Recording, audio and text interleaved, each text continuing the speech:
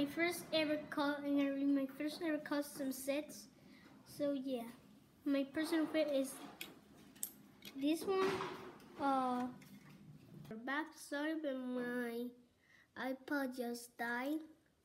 Oh, so this is my custom microfighter. Then we have my second one is a battle pack. Um, a command center, basically.